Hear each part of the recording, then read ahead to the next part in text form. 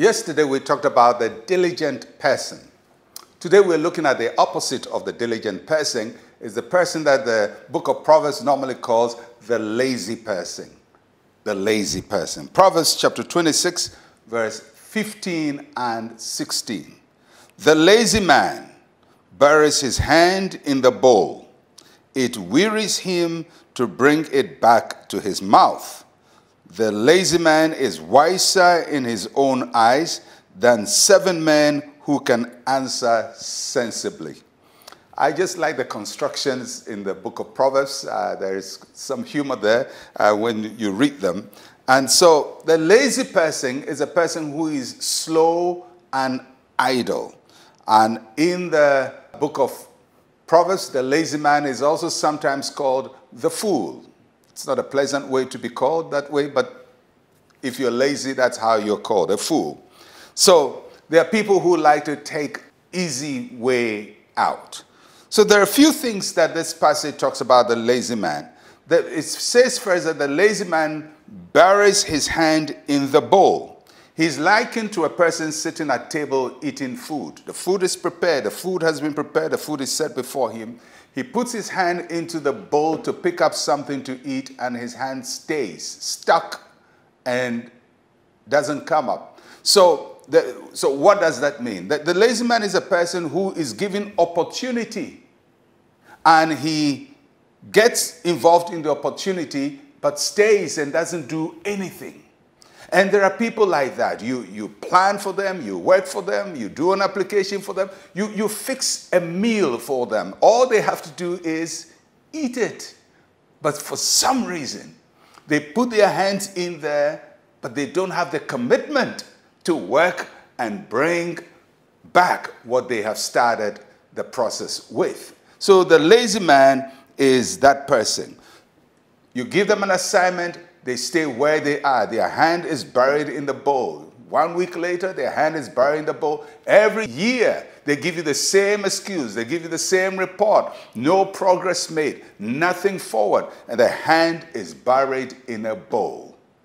And if you are that person who keeps giving the same excuse every year, please, your description is being played out in the scriptures. The second thing about the lazy man is that it wearies him to bring his hand to his mouth. It wearies him. The whole process of taking what he has touched and bringing it out and, and working it out, he doesn't have the energy. He, it wearies him. So the lazy man represents those who don't follow through on a project. They don't follow through on an assignment.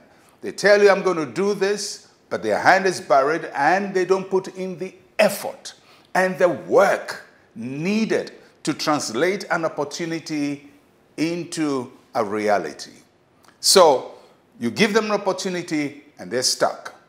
And then the third thing the passage says about the lazy man is that he's wiser in his own eyes than seven men who can answer sensibly. In other words, you can't even reason with him.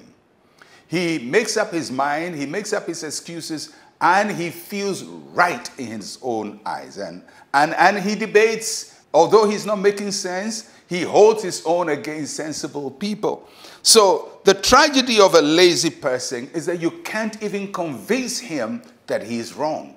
Because it's only when a person is convinced he's wrong that he can change, he can turn around, he can repent. But if a person thinks that their way is right, and all logic shows that their way is wrong, but they never see it. They can never change. And that is why uh, year after year, decade after decade, they are still where they are. Hands buried in a bowl and never taking advantage of the opportunities that are created for them. Unfortunately, sometimes they blame everybody else for their failure and not themselves because the lazy man cannot be reasoned with.